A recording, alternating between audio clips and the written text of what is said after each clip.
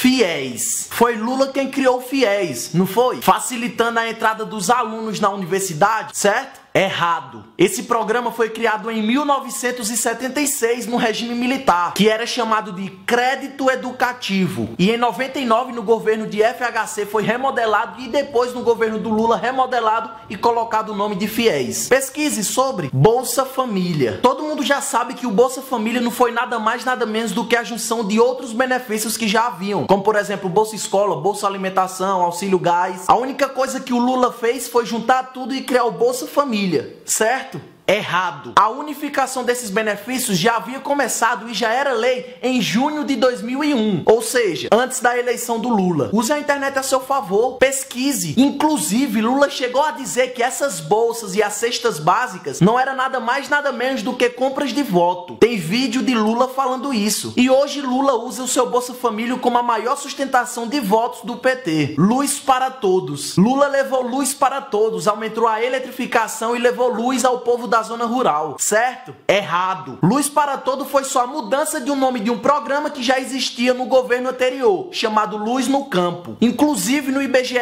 consta que em 96 a luz chegava para 80% dos domicílios brasileiros e em 2002 esse número subiu para 91%. No governo anterior a eletrificação avançou 12,64%, enquanto com Lula avançou 5,94%. E não sou eu que estou falando, isso é fato, isso é número, isso é IBGE. Pesquise. O governo Lula criou 16 universidades, certo? Errado. Na verdade, o governo Lula criou quatro universidades e trocou o nome de outras duas. Como, por exemplo, a Escola de Farmácia e Odontologia de Alfenas, que mudou para a Universidade Federal de Alfenas. Pesquise. O governo Lula tirou 36 milhões de pessoas da miséria, certo? Errado. Primeiro que se houvesse 36 milhões de pessoas miseráveis, seria um miserável a cada quatro pessoas. E esse número é extremamente absurdo, sem lógica. Mas falando dos fatos, o número de miseráveis já vinha caindo desde o ano de 2001, antes da eleição do Lula. E mesmo assim, em 2002, não haviam 36 milhões de miseráveis, haviam 14,9 milhões. E em 2012 esse número diminuiu para 6,5 milhões. Isso que eu tô falando são números do IPEA, Instituto de Pesquisa Econômica Aplicada, um órgão ligado ao próprio Palácio do Planalto. Pesquisa Pesquise aí. O próprio Lula já afirmou que nas suas campanhas ele inventava números para parecer algo mais sério, mais dramático. E tem vídeo gravado dele falando isso. Pesquise e veja. Ah, mas o Lula fez com que o pobre comprasse casa, comprasse carro, certo? Errado. Não teve dedo do Lula no meio disso. A única coisa que ele fez foi estimular o crédito, fazendo com que o povo comprasse, financiasse, se endividasse. E hoje a maioria ficou endividado. Estamos numa crise econômica, 15 milhões de desempregados e a hora de pagar a conta chegou. É só você parar e olhar a situação do Brasil hoje. Pesquise mais sobre isso. Ah, mas uma coisa é certa: ele luta pelas minorias,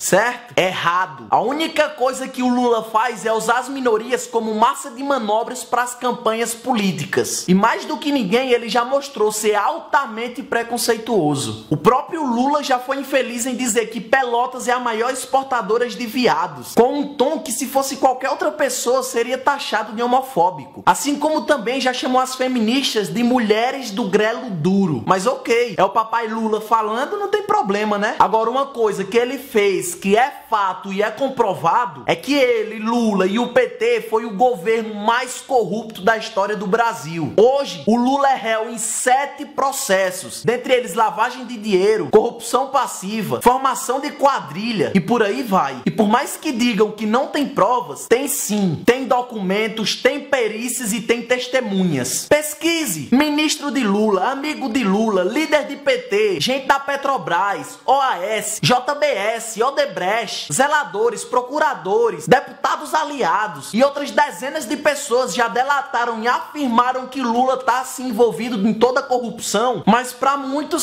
só quem fala a verdade é o próprio Lula. Meio estranho, não acha? Agora se você sabe disso tudo e afirma, ele roubou, mas fez, então suba Suponhamos que ele fez algo. Agora me responda uma coisa. Se você é dono de uma loja e nessa sua loja tem um vendedor que é excelente, mas que todo mês está faltando dinheiro no caixa e você sabe que foi ele quem roubou, você vai demiti-lo ou vai deixar trabalhando, já que ele rouba, mas faz? Pense nisso. Divulgue esse vídeo, mostre para os seus pais, para os seus avós, para aquelas pessoas que não têm acesso à internet. Compartilhe esse vídeo o máximo. O Brasil todo precisa saber a verdade. Vamos lutar por um Brasil melhor por um Brasil justo. Minha página do Facebook é André Fernandes e meu Instagram e Twitter é André Anoni. Tamo junto.